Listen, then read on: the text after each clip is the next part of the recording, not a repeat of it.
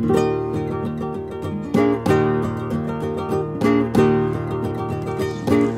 I'm David. I'm one of the guides for Olé Spain Tours, and today uh, I'm standing in front of the beautiful pool at our hotel in the Alpujarras, which is the uh, the foothills of the Sierra Nevada mountain range right outside of Granada, about an hour north of the Mediterranean coast, which on a clear day you can see from here.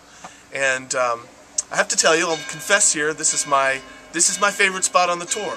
I love Sevilla. I love Granada, and our time in the cities uh, is is a lot of fun, and we we certainly see tons of cultural uh, interest. But when we come up here, it's for me the time for a little R&R with the clients. Uh, some people choose to go with Josh on these hikes, uh, but I tend to like to sit back with with with the people who want to stay at the pool, uh, take walks through these incredibly picturesque towns, um, and uh, just generally breathe the the clear, fresh air and look at the stars at night. Um, the Alpujarras is truly a magical place. And I think uh, I'm not the only one who, who, comes up here and falls in love uh, with, with all that they have to offer.